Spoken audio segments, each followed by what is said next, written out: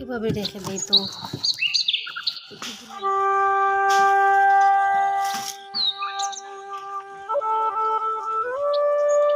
আসসালামু আলাইকুম, শুভ সকাল। সবাইকে আমার চ্যানেলে স্বাগতম। আশা করি সবাই খুব বেশি ভালো আছেন।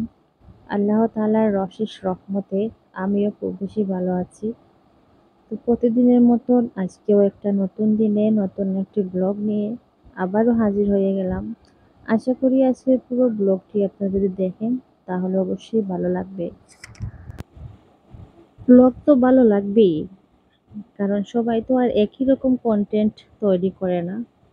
সবাই এক এক রকম কন্টেন্ট তৈরি করে। সেজন্য সবার ব্লগ একই রকমের হয় না। তাই যদি ব্লগ না দেখেন, তাহলে কীভাবে বুঝবেন? কার ব্লগটা কীরকম হয়েছে? আরও একটি কথা, আমি তো বলে দিয়েছি আমি কেমন আছি। আপনারা কেমন আছেন সেই কথাটাও আমাকে কমেন্টের মাধ্যমে জানাবেন। আপনাদের মূল্যবান কমেন্ট কিন্তু আমার খুব বেশি ভালো লাগে পড়তে। আমাদের ব্লগ আপনাদের কাছে ভালো লাগে কি না, সেটা তো আপনাদের কমেন্টের মাধ্যমে বোঝা যায়। তারপরেও ভালো লাগানোর চেষ্টা করি। কারণ কন্টেন্ট ক্রিয়েটর তো, ঘরে বসে যা পারি সেটুকুই আমরা ক্রিয়েট করি। চেষ্টা সবসময় করি যাতে আপনাদের কাছে ভালো লাগে। আমি তো চাইলে বাইরে কোথাও গিয়ে ভিডিও বানাতে পারব না। সেই সামর্থ্য আমার থাকলেও সেই স্বাধীনতা আমার নেই। কারণ আমি একটা মেয়ে, তারপর হচ্ছে কি আমি একটা বাড়ির বউ। সেদিক সই সব কিছু খেয়াল করে তারপর কিন্তু আমাকে ভিডিও বানাতে হয়। তারপরও যদি আপনাদের কাছে ভালো না লাগে, তাহলে কমেন্টের মাধ্যমে একটু জানাবেন যে আপনাদের কেমন লাগতেছে। মাঝে মাঝে যখন দুই একটা ভিডিও একটু ভিউজ আসে, তখন এত বেশি ভালো লাগে। মনে মনে ভাবি, এই মনে হয় ভিউজ আসা শুরু করা হয়েছে, শুরু হয়ে গেছে। এখন আর থামবে না। তারপর থেকে একটা উৎসাহ জাগে, প্রতিদিন আমি ঠিক সুন্দর সুন্দর করে ভিডিও বানাবো। কিন্তু তারপরে যখন আবার ভিউজটা ডাউন হয়ে যায়, দুই একটা ভিডিওতে ভিউজ আসার পর আবার ডাউন হয়ে যায়, তখন কিন্তু আবার মনটা ভেঙে যায়। তখন আর ভিডিও বানাতে ইচ্ছে করে না। তারপরে যখন ইউটিউবে কাজ করা শুরু করেছি, তাহলে তো আমাকে থামলে হবে না। আমাকে এগিয়ে যেতে হবে। যদি থেমে যাই, তাহলে কি করে হবে? কারণ কিছু মানুষ থামার জন্য ইউটিউবে আসে না সাকসেস হওয়ার জন্য আসে। তো আমারও একটা ইচ্ছা, আমি ঘরে বসে বসে ইউটিউবিং করব। এমন নয় যে আমি খেতে পারতেছি না, এটা শখের বসে ইউটিউবিং করা। ঘরে বসে বসে যদি আমি শখের বসে ইউটিউবিং করি, তাহলে সমস্যা কী? আর সবার কম বেশি জানা হয়ে গেছে, আমি ইউটিউবিং করি। তাহলে এখন যদি ইউটিউবিং করা ছেড়ে দিই, তাহলে তো আমার হার মানা হয়ে যাবে। তাই আমি যতদিন পারি আমি সাকসেস হওয়ার চেষ্টা করব, ইউটিউবিং করে যাব। তার সাথে আপনারা সবাই যদি আমাকে মোটিভেট করেন, তাহলে খুব তাড়াতাড়ি আমি সফল হব। এই আশাটা অন্তত আমার আছে ভিতরে। আর এই আশাটাও আছে যে আপনারা আমাকে সাপোর্ট করবেন। যাই হোক আপনারা আমার ভিডিও দেখতে থাকেন আর লাইক কমেন্ট অবশ্যই করবেন। তাহলে কি ভালো দিন করল? এখন আবার বৃষ্টি বৃষ্টি ভাব। কিছুই ভালোভাবে শুকাচ্ছে না। জুতা জুতা ধুয়ে দিয়েছিলাম। কিছু শুকাইছে।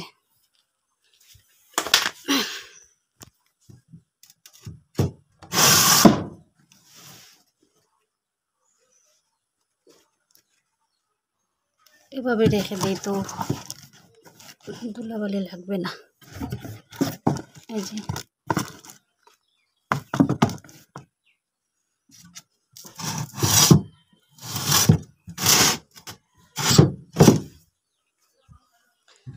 বাস্কটা পানি দিয়ে মুছে দিয়েছিলাম। ময়লা নেই, তারপরেও।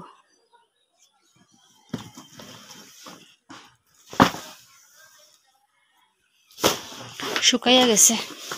রেখে দেবো আবার ওই একটা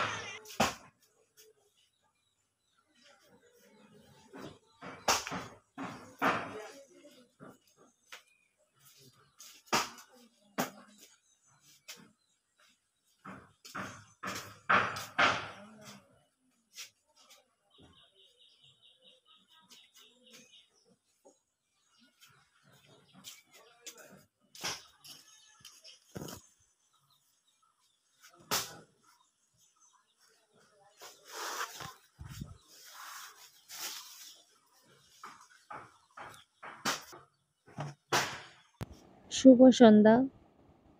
এখন রাত সাতটা বেজে গেছে আর মাহরিবের নামাজের পর রান্নাঘরে আসলাম। এখন যেহেতু দিনটা অনেক লম্বা আর রাত ছোট, তো মাহরিবের নামাজের পর রান্নাঘরে আসলাম। তো কিছু কিছু পিঠা বানানো হয়েছিল, সেই পিঠাগুলো গরম করতেছি।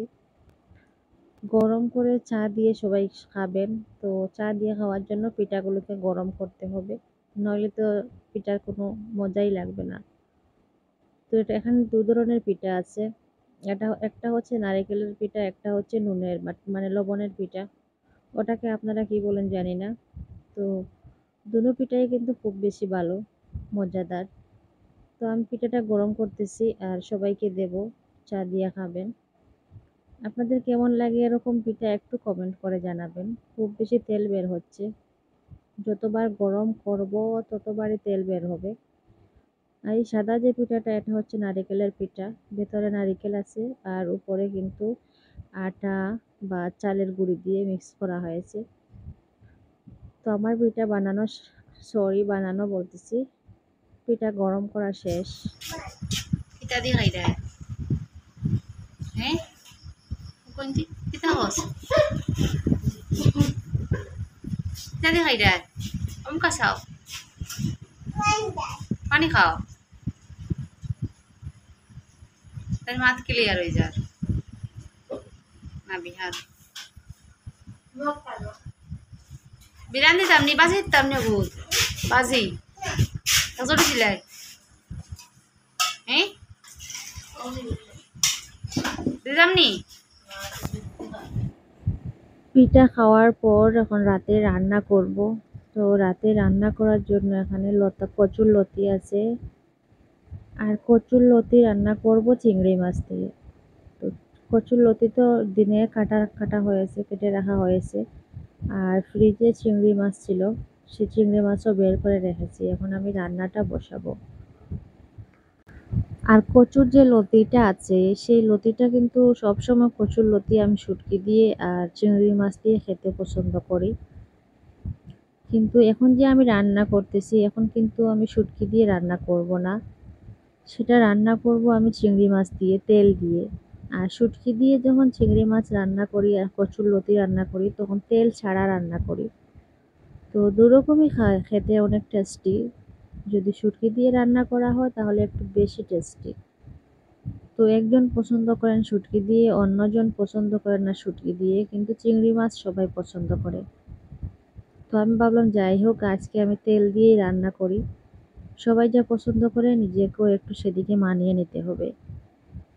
তো এই যে আমি মশলাটা একদম কম মশলা দিয়েছি, কারণ কম মশলা খাওয়া অনেক ভালো। তো সব রকম মশলা দিয়ে দিয়েছি, কারণ চিংড়ি মাছের পরিমাণও কম, আবার কচুর লতির পরিমাণও কম, সেই পরিমাণ অনুযায়ী তো মশলা দিতে হবে। সেজন্য আমি মশলাটা একটু কম দিয়েছি, আর চিংড়ি মাছটাও দিয়ে দিয়েছি। চিংড়ি মাছ একদম কম হলো। এই চিংড়ি মাছগুলো কিন্তু একটু বড় বড় সাইজের এই যে কচুর লতি দিয়ে দিলাম, এখন রান্নাটা হয়ে যাবে। তো কচুর লতি রান্না করতে কিন্তু খুব বেশি সময়ের প্রয়োজন হয় না, কারণ নরম জিনিস রান্না করতে সময়ের প্রয়োজন হয় না বেশি। খুব কম সময়ের মধ্যেই হয়ে যায়। তো আমারও বেশি সময় লাগবে না। এই যে কচুর লতিতে একটু পর কিন্তু একদম সিদ্ধ হয়ে যাবে, তারপর পানি দিয়ে দেব। আর এই যে ডাকনা দিয়ে দিলাম। কিছুক্ষণ পর আবার আসলাম। অফ ক্যামেরায় কিন্তু অর্ধেকটা সিদ্ধ হয়েই গিয়েছে এখন সামান্য পানি দিয়ে দিচ্ছি। কারণ পানি না দিলে তো কচুর লতিটা ভালো লাগবে না, একদম শুকনো শুকনো হয়ে যাবে। আর একটু পানি দিলে ভালো লাগবে। তো আমি সামান্য পানি দিলাম। আর কালকে ভাবতেছি চুলাটা লেপবো, লেপলে অবশ্যই ভিডিও করব। আর সেরকম, সেই ভিডিও করা হলে অবশ্যই ইউটিউবে আপলোড দেব। আপনাদের জন্য। তো এই যে আমার কচুর লতি রান্না করা কিন্তু হয়ে গেছে। আপনাদের কাছে আমার কচুর লতি রান্না করা কেমন লাগল? এভাবে কে কে খান অবশ্যই কমেন্ট করে জানাবেন। আজকে এই পর্যন্তই। আল্লাহ হাফিজ।